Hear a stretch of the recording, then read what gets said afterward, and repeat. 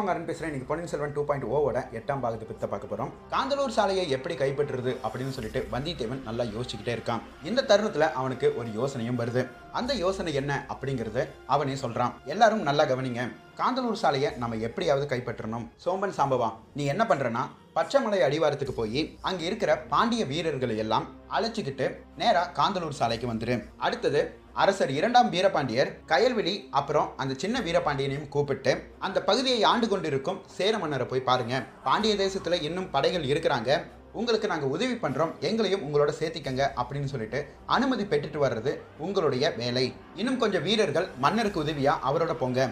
அந்த ஒற்றன் கோட்டையனை கூப்பிடுங்க அப்படின்னு சொல்லி வந்தியத்தேவன் சொல்கிறான் கோட்டையனும் வந்துடுறான். அவங்கிட்ட சொல்கிறாரு காந்தலூர் சாலையில் எந்தெந்த வணிகர்கள் இப்போதைக்கு முகாமிட்டு இருக்கிறாங்க? அப்படின்னு சொல்லி கேட்குறான் பெரும்பாலும் ஆப்பிரிய கண்டத்தை சார்ந்தவர்களும் ஐரோப்பிய நாட்டை சார்ந்தவர்களும் அதிகமாக இருக்கிறாங்க அந்த இடத்துல. சரி உனக்கு ஐரோப்பிய பாஷை தெரியுமா தெரியாதா? அப்படின்னு சொல்லி கேட்குறான் உடனே அந்த ஒற்றனும் ஒற்றன்னா பல தேசங்களோட பாஷையை கற்றுக்கணும் இல்லையா? எனக்கும் தெரியும் அப்படின்னு சொல்கிறான் சரி நீ நான் மந்திரவாதி ரவிதாசன் அப்புறம் இன்னும் கொஞ்சம் பேர் போய் அந்த அரேபியர்களை பார்த்து பேசணும். இந்த இடத்துல மந்திரவாதி ரவிதாசன் கொஞ்சம் யோசிக்கிறான். உடனே வந்தித்தேவன் என்ன? அரேபியர்களை பார்க்கணும்னு சொன்னோன்னே கடலில் அவங்க கிட்ட மாட்டிக்கிட்டு முழிச்சது ஞாபகம் வருதா? அப்படின்னு சொல்லி கேட்குறான். மந்திரவாதி ரவிதாசனும் ஆமாம் வந்தித்தேவா அவனுங்களை பார்த்தாவே கைங்காலெல்லாம் நடுங்கோ. இப்போ நீ அவனுக்கிட்டே போய் பேசலான்னு சொல்கிறியே வேற வழி இல்லை அவனுக்கிட்ட தான் பேசி ஆகணும். வா நம்ம போகலாம் அப்படின்னு சொல்கிறான் உடனே மந்திரவாதி ரவிதாசனும் சோம்பன் சாம்பவன் கிட்ட ஒரு பை எடுத்து கொடுக்குறான். இதில் நிறைய காசோலைகள்லாம் இருக்குது போகிற வழியில் இன்னும் ஆட்கள் வேணும்னா சேர்த்திக்கோ. வந்தியத்தேவன் டக்குன்னு அது என்ன காசோலைகள் அப்படின்னு சொல்லி கேட்கும்போது சோழ தேசத்தின் பொக்கிஷன் நிலவரையிலிருந்து நந்தினி கொடுத்த காசோலைகள் இன்னும் நம்மக்கிட்ட நிறையா இருக்குது இதை வச்சு தான் நிறைய கூலிப்படைகள் ஆட்களை எல்லாம் வேலைக்கு வாங்கிட்டு இருக்கோம் அப்படின்னு சொல்கிறார் ரவிதாசன். உடனே இந்த சமய ஒற்றன் அப்படின்னா இன்றைக்கு இரவே எத்தனை பேர்த்த வாங்க முடியுமோ அத்தனை பேர்த்தையும் வாங்கிருங்க அப்படின்னு சொல்கிறான் உடனே எல்லாரும் ஒற்றனை பார்க்குறாங்க ஒற்றன் சொல்கிறான் நேற்று பல்வேறு இடங்கள்ல இருந்து பொற்கொள்ளர்கள் காஞ்சிபுரத்தை நோக்கியும் தஞ்சை நோக்கியும் போனாங்க. அவங்களுக்கு கிடைச்ச செய்தி என்னன்னா உத்தம சோழர் தற்போதைய காசோலைகள் நாணயங்கள்லாம் செல்லாதுன்னு அறிவிக்க போறாராம். அதனால புது காசோலைகள் செய்கிறக்காக பல பொற்கொள்ளர்களை வந்து கூப்பிட்டுருக்குறாங்கன்னு சொல்லி நிறைய பேர் கிளம்பி போயிட்டு இருந்தாங்க அப்படின்னா உங்கள் கையில் வச்சிருக்கிற காசோலையெல்லாம் நாளையிலிருந்து வெறும் தகுடு தான் அப்படின்னு சொல்கிறான் அந்த ஒற்றன். இந்த சமயம் வந்தியத்தேவன் கொஞ்சம் யோசிச்சுட்டு விடுதியில் இருந்த ரெண்டு பேர் கண்டிப்பாக சோழர்களுக்கு கீழே மாட்டியிருப்பாங்க. அவங்க கையில் இருந்த காசோலைகள் பார்த்துருப்பாங்க. அதனால தான் சேந்தன் அமுதன் காசோலைகள்லாம் செல்லாதுன்னு சொல்லி ஒரு முடிவு எடுத்திருக்கான். பரவாயில்ல சேந்தன் அமுதன் கூட இப்படியெல்லாம் யோசிக்கிறானே அப்படின்னு சொல்லி வந்தியத்தேவன் சொல்கிறான் இந்த தருணத்தில் மந்திரவாதி ரவிதாசன் அப்படின்னா இனிமேல் காசு பணத்துக்கெல்லாம் என்ன பண்ணுறது அப்படின்னு சொல்லி கேட்குறான் அது என்ன பண்ணுறதுன்னு நம்ம அப்புறம் பார்ப்போம். முதல்ல இந்த காசோலைகள் நம்ம கையில் இருக்கக்கூடாது. ஆ சரி எங்கேயாவது கொடுத்து மாற்றிடலாமா எங்கேயாவது கொடுத்து மாற்றினா நம்ம தான் முதல்ல மாட்டுவோம். அவங்க நம்மளை பிடிக்கிறதுக்காக தான் இப்படி ஒரு விஷயமே பண்ணுறாங்க அப்படின்னா என்ன பண்ணுறது என்ன பண்ணுறதுன்னா போகிற வழியில் ஏதாவது ஒரு ஊர் இருக்கா? அப்படின்னு சொல்லி வந்தியத்தேவன் கேட்குறான் ஆ போகும்போது போடுவார்பட்டின்னு ஒரு ஊர் இருக்குது அப்படின்னு சொல்லி சொல்கிறான் அப்படின்னா அந்த ஊரில் போகிற வழியில எல்லாம் கொஞ்சம் கொஞ்சமாக குழி தோண்டி அந்த இடத்துல எல்லாம் காசோலைகள் போட்டுட்டு போயிடுவோம் ஏன்னா இதை வச்சு இனிமேல் நம்மளுக்கு ஒரு பிரயோஜனமும் இல்லை அப்படின்னு சொல்கிறான் வந்தியத்தேவன். இந்த தருணத்தில் ஒரு வாரத்துக்கு முன்னாடி ஒரு விஷயம் நடந்தது. அந்த விஷயம் என்ன அப்படிங்கிறத நம்ம பார்த்துட்டு வந்துடுவோம் பழனி அருகே போடுவார்பட்டி என்கிற ஒரு கிராமம் உள்ளது. அங்கு பழைய நாணயங்கள் கிடைத்துள்ளன. அந்த பழைய நாணயங்களை தொல்லியல் ஆழ்வாளர் கதிரவன் பழனி அரசு மகளிர் மேல்நிலைப் பள்ளி ஆசிரியர்கள் நந்திவர்மன் ராஜேஸ்வரி பழனி ஆண்டவர் கலைக்கல்லூரி வரலாற்றுத்துறை தலைவர் ரவிச்சந்திரன் ஆகியோர் ஆய்வு செய்தனர். அதில் நந்திவர்மன் கூறியது போடுவார்பட்டியில் கிடைத்து உள்ள இந்த இரண்டு நாணயங்களும் ஆயிரம் வருடங்கள் பழமையான சோழர் காலத்து நாணயங்கள். இந்த காசோலைகள் தஞ்சையை தலைநகராக கொண்டு ஆண்ட மன்னர்களால் செய்யப்பட்டது. பெரும்பாலும் உத்தம சோழரோ இல்லை ராஜராஜ சோழரோ இதை உருவாக்கி இருக்கக்கூடும் என்பதே அவர்களின் கருத்து. இந்த வரலாற்று சான்றையும் நம்மளுடைய கதைக்காக சிறு துளியாய் கோத்துக்கொள்வோம் இப்போ நம்ம கதைக்கு வந்துடுவோம் உடனே மந்திரவாதி ரவிதாசனும் சரி வந்திட்டேவா அப்படியே நம்ம பண்ணிடுவோம் அப்படின்னு சொல்கிறாங்க இப்போ எல்லாரும் மூன்று பிரிவாக பிரிஞ்சு போக ஆரம்பிக்கிறாங்க.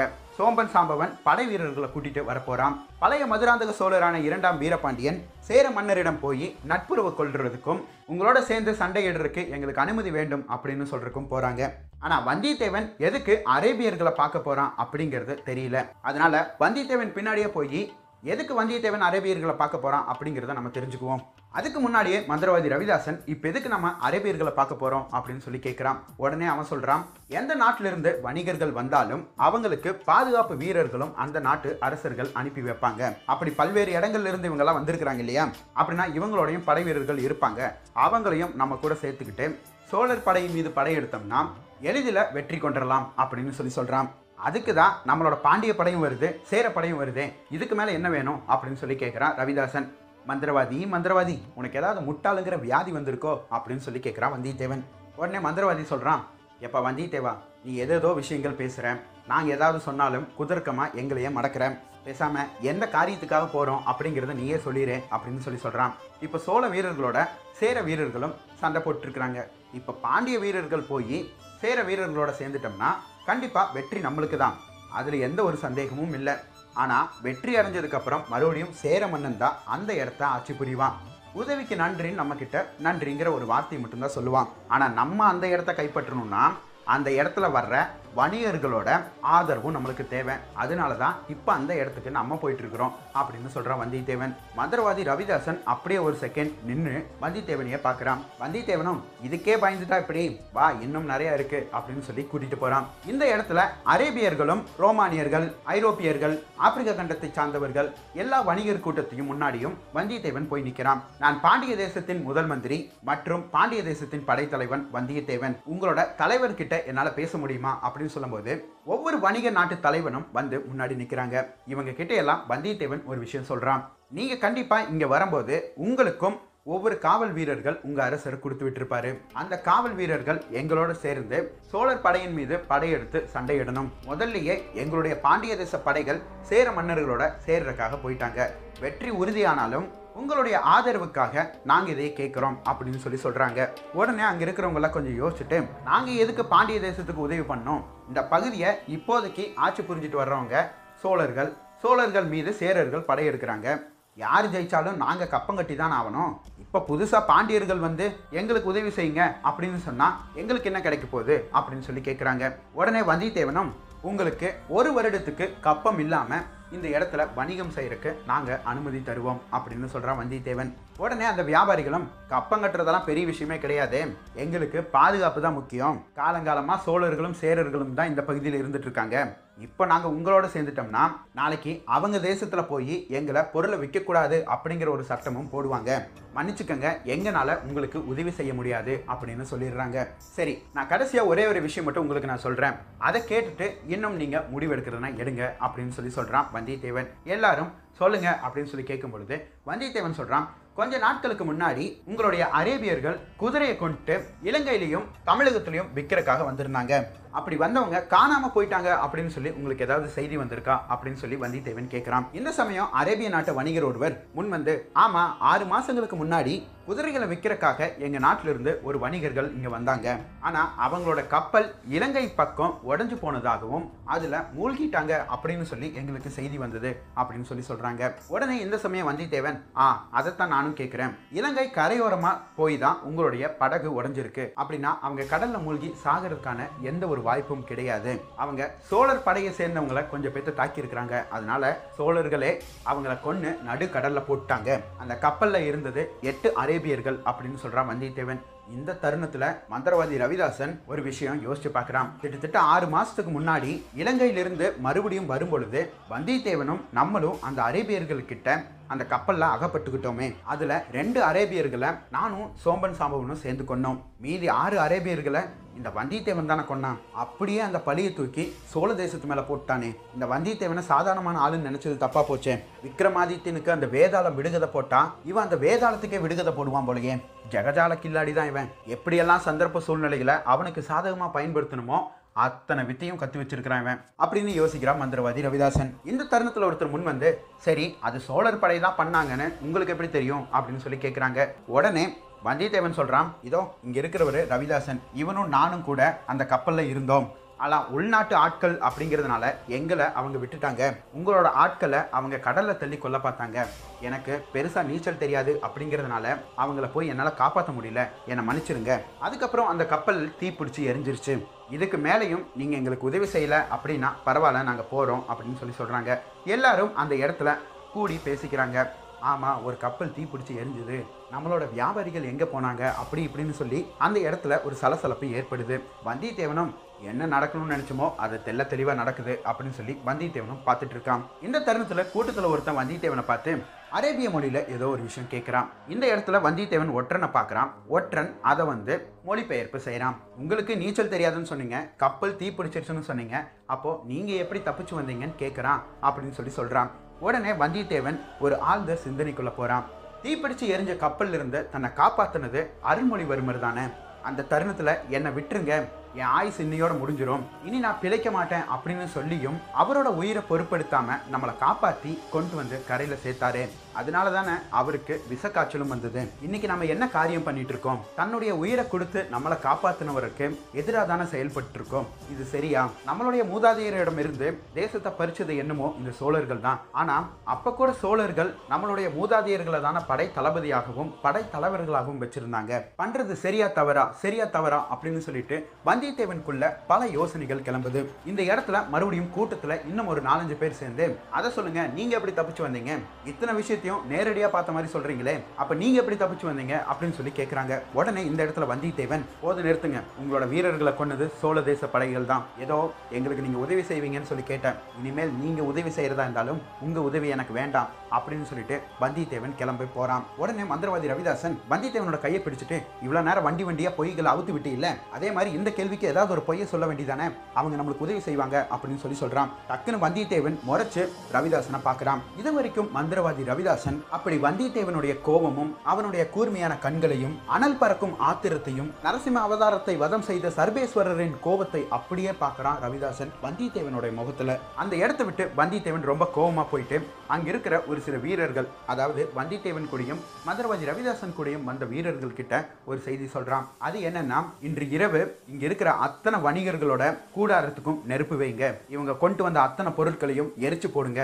எல்லாம் சாம்பலா போகணும் அப்படின்னு சொல்றான் வந்தியத்தேவன். அடுத்த தருணத்துல பாண்டிய தேசத்தின் வீரர்களும் பழைய மதுராந்தக சோழரும் வந்தியத்தேவனை பார்க்க வந்துடுறாங்க. ஆனா பழைய மதுராந்தக சோழர் வந்தியத்தேவனை பார்த்துட்டு ஏன் வந்தியத்தேவன் இவ்வளவு கோபமா இருக்கான்? ஏன் மந்திரவாதி? ஏதாவது பண்ணிட்டியா? ஏதாவது சொன்னியா? அப்படின்னு சொல்லி கேட்கும்போது நான் ஒன்றும் சொல்லல. அவன் தான் வண்டி வண்டியா பொய்ய சொன்னான். அவன் பொய் சொன்னதுக்கு அவனே கோவப்பட்டுக்கிறான். நான் எதுவும் அவன்கிட்ட பேசல சாமி அப்படின்னு சொல்லி உட்காந்துடுறான் உடனே பழைய மதுராந்தக சோழரும் பாண்டிய வீரர்கள் எல்லாரும் வந்தாச்சு. பாஸ்கர ரவியான சேர மன்னன் கிட்டையும் போய் பேசியாச்சு. நம்மளுடைய படை அவன் கூட சேர்ந்து சண்டை போடுறதுக்கு அவனுக்கு தயாருன்னு சொல்லிட்டான். சரி நீங்க போன காரியம் என்னாச்சு? அப்படின்னு சொல்லும்போது வந்தியத்தேவன் நாங்க போனது தோல்வியில முடிஞ்சிருச்சு. ஆனா பரவாயில்ல சோழ படைகளை வீழ்த்திருக்கு இது மட்டும் போதும் அப்படின்னு சொல்றான். அடுத்த தருணத்துல பாண்டிய தேசத்தின் படையும் சேர தேசத்தின் படையும் ஒன்னு சேர்ந்து சோழர்களிடம் சண்டை போடுறாங்க. சோழர்களின் படை எதிர்பாராத தருணத்துல அப்படியே சேர படைகள் இருக்கட்ட வலிமையாக புனல்படுகிறது மாபெரும் படையை எதிர்கொள்ள முடியாத சோழ படைகள் பின்வாங்கும் நிலைமை ஏற்படுகிறது. அது இன்னொரு பக்கம் என்ன நடக்குதுன்னு பாத்தீங்கன்னா வந்தியத்தேவன் சொன்ன மாதிரியே அந்த வணிகர்களோட பொருட்களையும் கூடாரத்தையும் ஒரு சிலர் நெருப்பு வச்சு கொளுத்திடுறாங்க. அங்கிருந்த காவல் படையும் வணிகர்களும் தன்னுடைய தேசம் விட்டு தன்னுடைய மனைவி குழந்தைகள் எல்லாம் பிரிஞ்சு எந்த ஒரு விஷயத்துக்காக நம்ம இந்த நாட்டுக்கு வந்தோம்? இன்னைக்கு எல்லா பொருட்களும் எரிஞ்சு சாம்பலாயிருச்சு. வெறும் கையோட எப்படி நம்ம திரும்ப ஊருக்கு போறது அப்படிங்கிற பல வேதனைகள் அவங்களுக்குள்ள இருக்கு. அந்த வேதனையில ஒரு சிலர் தற்கொலை முயற்சிக்கும் போகிறாங்க. அவங்களை எல்லாம் தடுத்துட்டு ஏன் இப்படி பண்றீங்க? ஒரு சிலர் அவங்கள தடுக்கிறதுக்கு முயற்சி செய்யறாங்க இப்படி ரெண்டு நாட்டுக்குள்ள சண்டை வந்ததுன்னா நம்மள மாதிரி வணிகர்களும் நாட்டு மக்களும் ரொம்பவே அவதிப்படுறாங்களே. அப்புறம் கொஞ்சம் சில பேர் ஒருவேளை இன்னைக்கு வந்தியத்தேவன் ஒருத்தன் வந்து பேசிட்டு போனான்ல அவனுக்கு உதவி செய்யறோம்னு சொல்லியிருந்தோம்னா ஒருவேளை நம்மளுடைய பொருட்களுக்கும் அதிகமான பாதுகாப்பு வீரர்கள் பாண்டிய தேசத்திலிருந்து வந்திருப்பாங்க இல்லையா? இப்படிப்பட்ட விஷயம் நடந்திருக்காது இல்லையா? அப்படின்னு சொல்லி சொல்றாங்க. எல்லாரும் அது எப்படி நம்மளால முடியும்? நம்ம வேற நாட்டை சேர்ந்தவங்க இங்க வணிகம் செய்ய வந்திருக்கிறோம். இங்க இருக்கிற படை வீரர்களோட நம்ம படை வீரர்கள் சண்டை போட்டாங்கன்னா இது கண்டம் விட்டு கண்டம் போர் நடக்கிறதுக்கான அறிகுறியா கூட இருக்கலாம். அப்படி ஒரு விஷயத்துக்காக தானே நம்ம உதவி பண்ண மாட்டோம்னு சொன்னோம். அப்படின்னு அவங்க பேசிட்டே இருக்கும்போது அந்த இடத்துல வந்தியத்தேவன் வந்து நிற்கிறான் எல்லாரும் என் பின்னாடியே வாங்க அப்படின்னு சொல்லி வந்தியத்தேவன் அவங்க எல்லாரையும் கூப்பிட்டு போறான். அந்த இடத்துல பெரிய ஒரு மதில் சுவர் மாதிரி இருக்கு. அந்த மதில் சுவரின் பின்னாடி போனால் அந்த வணிகர்களோட அத்தனை பொருட்களும் கொஞ்சம் கூட சிதையாம அப்படியே அங்கே இருக்கு. அதை பார்த்தோன்னே அத்தனை பேரும் ஆடி போயிடுறாங்க. நாங்க பார்க்கறது கனவா இல்லை நினைவா? அப்படின்னு சொல்லி அவங்களோட கண்களை எல்லாம் தொடச்சிக்கிறாங்க. இந்த இடத்துல வந்தியத்தேவன் சொல்கிறான் எங்களுக்கு முன்னையே ஒரு சில தகவல்கள் வந்தது. அதாவது இந்த மாதிரி வணிகர்களோட பொருட்களையும் எரிக்க போறதா அதனால தான் உங்ககிட்ட வந்து நாங்கள் உதவி கேட்டோம். ஆனால் நீங்கள் உதவி செய்கிறக்கு மறுத்துட்டீங்க. அதே சமயம் தெரிஞ்சும் எங்களுக்கு உங்களுக்கு உதவி செய்யாமல் இருக்க முடியல. அதனால தான் உங்களுக்கு தெரியாமையே உங்களோட பொருட்களை எல்லாம் நாங்கள் இங்கே கொண்டு வந்து சேர்த்துக்கிட்டோம். அவங்க நெருப்பு வச்சது உங்களுடைய கூடாரத்துக்கு மட்டும்தானே தவிர உங்களுடைய பொருட்களுக்கு கிடையாது. உங்களோட பொருட்கள் எல்லாம் இங்கே இருக்குது இன்னும் ஒரே நாளில் அதாவது நாளைக்கெல்லாம் இந்த போர் இந்த சண்டை முற்றிலுமாக முடிஞ்சிடும் இனி எடுத்துகிட்டு போங்க அப்படின்னு சொல்கிறான் வந்தியத்தேவன். உடனே அங்கிருந்த வீரர்கள் கொஞ்சம் பேர் வந்து உங்களுக்கு நாங்கள் உதவி செய்கிறோம் நாங்கள் உங்களோட படையோடு சேர்ந்து சோழர் படையை வீழ்த்துறோம் அப்படின்னு சொல்கிறாங்க உடனே வந்தியத்தேவன் எனக்கு உங்களோட உதவி இப்பவும் தேவையில்லை. சோழர்களை வீழ்த்திற்கு என்னாலேயே முடியும் அப்படின்னு சொல்லிட்டு வந்தியத்தேவன் அந்த இடத்த விட்டு கிளம்பி போயிடுறான். இந்த சமயத்துல மந்திரவாதி ரவிதாசன் அப்புறம் மற்றவங்களுக்கும் இந்த வந்தியத்தேவனை புரிஞ்சிக்கவே முடியலையே. முதல்ல இவன் தான் போய் உதவி கேட்டான். அவங்க உதவி பண்ண மாட்டேன்னு சொன்னாங்க. இப்போ அவங்களே உதவி பண்றேங்கிறாங்க. இப்போ இவன் வேண்டாங்கிறானே. மறுபடியும் அடுத்த நாள் வந்தியத்தேவன் வீரர்களுக்கு ஒரு கட்டளை இடுறான் அது என்னன்னா சோழர் படைகளில் யாரையும் கொல்லக்கூடாது. இது வரைக்கும் கொன்ன வரைக்கும் போதும். மற்ற வீரர்கள் அத்தனை பேரையும் சிறைப்பிடிங்க யாரையும் கொல்லக்கூடாது அப்படின்னு சொல்லி வந்தியத்தேவன் ஒரு கண்டிஷன் போடுறான். இந்த கண்டிஷன் எதுக்கு? எதிரி படைகளை வீழ்த்தி அவங்கள கொண்டு போட்டோம்னா நம்மளுக்கு தானே நன்மை அப்படின்னு சொல்லும் போதும் வந்தியத்தேவன் சொல்கிறான் வேண்டாம் அவங்கள கொல்லாதீங்க. ஏன்னா இது போரே கிடையாது இது ஒரு கலவரம். கலவரத்துல யாரையும் கொல்லக்கூடாது. என்னுடைய யோசனைப்படி தானே உங்களுக்கு வெற்றி தேடித்தரேன். அப்படின்னா இந்த ஒரு யோசனையும் நீங்க கேளுங்க. சோழர் படை வீரர்களை யாரையும் கொல்லக்கூடாது. அத்தனை பேர்த்தையும் சிறைப்பிடிங்க அப்படின்னு சொல்கிறான் வந்தியத்தேவன். இதை கேட்ட சேர மன்னன் ரவியும் பழைய மதுராந்தக சோழரும் சரி வந்தியத்தேவன் சொல்கிற மாதிரியே பண்ணிடுவோம் அப்படின்னு சொல்லிட்டு வீரர்களுக்கு ஒரு கட்டளையும் விடுறாங்க. அன்று மதியமெல்லாம் அத்தனை வீரர்களையும் கைது செஞ்சு சிறையில் போட்டுடுறாங்க. இப்போ சோழ வீரர்கள் அப்படின்னு சொல்றதுக்கு அங்கே யாருமே இல்லை. இருந்தவங்கெல்லாம் சிறையில் இருக்காங்க. இன்னும் கொஞ்சம் பேர் செத்து போயிட்டாங்க. இன்னும் கொஞ்சம் பேர் ஓடி போயிட்டாங்க. இப்போ முழுமையாக அந்த பகுதி சோழர்கள் பாண்டியர்கள் இவங்க ரெண்டு பேர்த்துக்கும் கட்டுப்பாட்டுக்குள்ள வந்துருச்சு. அடுத்த தருணத்துல அங்க இருக்கிற வணிகர்கள் படை வீரர்கள் எல்லாரையும் கூப்பிட்டு சேர மன்னன் ரவி பாண்டிய தேசத்தின் உதவியோடு சோழர்களை விரட்டி அடித்து விட்டோம். இனிமேல் இந்த பகுதி சோழர்களுக்கு கீழே இல்ல. சேர மன்னனான என்னுடைய கட்டுப்பாட்டுக்குள் தான் இருக்கும். எங்களுக்கு உதவி செஞ்ச பாண்டிய வீரர்களுக்கும் பாண்டிய மன்னரான இரண்டாம் வீரபாண்டியனுக்கும் இந்த திட்டத்தை வகுத்து கொடுத்த வந்தியத்தேவனுக்கும் நன்றி அப்படின்னு சொல்றாரு சேர மன்னன். இந்த இடத்துல வந்தியத்தேவன் கொஞ்சம் முன் வந்து சேர அரசரை எங்களுக்கு நீங்க அதிகமாவே புகழாரம் சூட்டுறீங்க. அதே சமயம் உங்களுக்கு ஒரு புகழாரம் சூட்டிக்கிட்டீங்களே அதுல ஒரு சின்ன பிழை இருக்கு அப்படின்னு சொல்றான். உடனே சேர மன்னனும் என்ன சொல்றீங்க? அப்படின்னு சொல்லி கேட்கும்போது இந்த பகுதியில நம்ம ரெண்டு பேரும் சேர்ந்து சோழர்களை அடிச்சு விரட்டினது உண்மைதான். ஆனா மீண்டும் இந்த இடம் சேர மன்னனான உங்களுக்கு கீழே கட்டுப்பாட்டுக்குள்ள வந்ததுன்னு சொன்னீங்கல்ல அதுல ஒரு சின்ன தவறு இருக்கு. இந்த இடம் இரண்டாம் வீரபாண்டியனான பாண்டிய மன்னனுக்கு கட்டுப்பாட்டுக்குள் வந்தது. அந்த வெற்றியை தேடி கொடுத்தவர் பாண்டிய தேசத்தின் முதல் மந்திரி படைத்தலைவனான வந்தியத்தேவன் அப்படின்னு சொல்றான். உடனே சேர மன்னனும் என்ன வந்தியத்தேவா எங்க வந்து யார் முன்னாடி நின்று பேசுறேன்னு தெரியுதா அப்படின்னு சொல்லிட்டு அவருடைய வால்ல கை வைக்கிறாரு.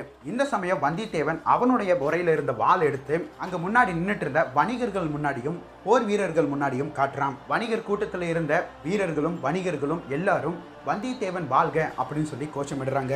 அதுக்கப்புறம் பாண்டிய தேசத்தின் வீரர்களும் வந்தியத்தேவன் வாழ்க இரண்டாம் வீரபாண்டியன் வாழ்க அப்படின்னு சொல்லி கோஷமிடுறாங்க. வணிகர்கள் வணிகர்களோட படை வீரர்கள் அதுக்கப்புறம் பாண்டிய தேசத்தின் படை வீரர்களோட கோஷத்துல சேரப்படையோட வீரர்களோட கோஷம் கொஞ்சம் கூட கேட்கவே மாட்டேங்குது. வாயடைச்சு போன சேர மன்னன் வந்தியத்தேவனுடைய காதில் இந்த மாதிரி செயல் செஞ்சதுக்கு நீ கண்டிப்பாக பதில் சொல்லியே ஆவணும் அப்படின்னு சொல்லிட்டு அந்த இடத்த விட்டு இறங்கி போறாரு சேரமன்னன். சேரமன்னன் கீழே இறங்கினதுக்கு அப்புறமே அங்கிருந்த வணிகர்கள் கூட்டம் அத்தனை பேரும் இனிமேல் நாங்க பாண்டிய தேசத்துக்கு தான் கப்பம் கட்டுவோம். எங்களுக்கு பாதுகாப்பும் எங்களுடைய பொருட்களுக்கு பாதுகாப்பும் கொடுத்தது வந்தியத்தேவன் தான். ஒரு வணிகனா எங்களுக்கு அதுதான் தேவை அப்படின்னு சொல்லி எல்லோரும் கோஷங்கள் எழுப்புறாங்க. இந்த சமயம் மந்திரவாதி ரவிதாசன் அட பாவி வந்தியத்தேவா இவங்களை சென்டிமெண்டா உன் கட்டுப்பாட்டுக்குள்ள கொண்டு வரணும்னு சொல்லி தான் அவங்களோட இடத்தையெல்லாம் நீயே கொடுத்து சொல்லிட்டு அவங்களோட பொருட்களை எல்லாம் நீயே பாதுகாப்பு பண்ணிட்டு கடைசியில் உங்களுக்கு என்ன உதவி வேணும்? அப்படின்னு கேட்டப்ப கூட எனக்கு உதவி எதுவும் வேண்டாம். நீங்கள் நல்லா இருந்தால் போதும்னு சொல்லி நல்லவன் மாதிரி வந்தையே.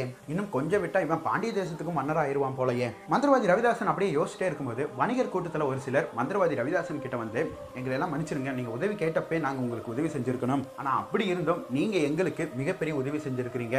வந்தியத்தேவன் எவ்வளோ நல்லவர். அவர் கடவுள் தான் அப்படின்னு சொல்றாங்க. மந்திரவாதி ரவிதாசனும் யார் வந்தியத்தேவன் நல்லவர்? அந்த கூட்டத்தில் இருக்கிறவங்க எல்லாம் ஆமா ஆமா உங்க கண்ணுக்கெல்லாம் அவர் கடவுள் மாதிரி தெரிகிறாரு ஆமா ஆமா அப்ப எல்லாரும் கையெடுத்து கும்பிடுங்கடா. ஏன் மூஞ்சி எதுக்குடா பார்த்துட்டு இருக்கிறீங்க? அப்படின்னு சொல்றான் மந்திரவாதி ரவிதாசன். அங்கிருந்த அத்தனை பேரும் கையெடுத்து வந்தியத்தேவனை கும்பிட ஆரம்பிக்கிறாங்க. இந்த இடத்துல வந்தியத்தேவன் அவனுடைய கையை ஓங்குறான் எல்லாரும் அமைதியாகிறாங்க. இனிமேல் காந்தலூர் சாலை பாண்டிய தேசத்திற்கு கீழே உள்ளது. இந்த பகுதியை ஆட்சி புரியும் மன்னர் இரண்டாம் வீரபாண்டியன். மீண்டும் இந்த இடத்தை கைப்பற்ற யார் வந்தாலும் அவர்களுக்கு தக்க பதிலடி போர் மூலியமாக தான் கொடுப்போம் அப்படின்னு சொல்றாரு வந்தியத்தேவன். கீழே இருந்த அத்தனை படை வீரர்களும் வீரவேல் வெற்றிவேல் அப்படின்னு சொல்லி கோஷம் கிளப்புறாங்க. இந்த தருணத்துல பழைய மதுராந்தக சோழரான இரண்டாம் வீரபாண்டியனுக்கு ஒரு ஆக்ரோஷ ஆனந்தம் வருது. தன்னை முதல் தடவையா மன்னரா நிற்க வச்சது வந்தியத்தேவன் தான். வந்தியத்தேவன் தன்னோட இருக்கும்போது மூ உலகையும் ஆளலாம் அப்படிங்கிற ஒரு எண்ணம் இரண்டாம் வீரபாண்டியனுக்குள்ள வருது. ஒரே இரவுல சோழ தேசத்தின் படைகளை வீழ்த்தி சோழ தேசத்தின் வெறுப்பையும் சம்பாரிச்சுக்கிட்டான் வந்தியத்தேவன். காந்தலூர் சாலை பகுதியை சேர மன்னன் கிட்ட இருந்து வாங்கி சேர தேசத்தின் பகையும் சம்பாரிச்சுக்கிட்டா வந்தியத்தேவன். இனி வந்தியத்தேவனுக்கு சூழ்ச்சியும் தந்திரமும் தேவைப்படாது.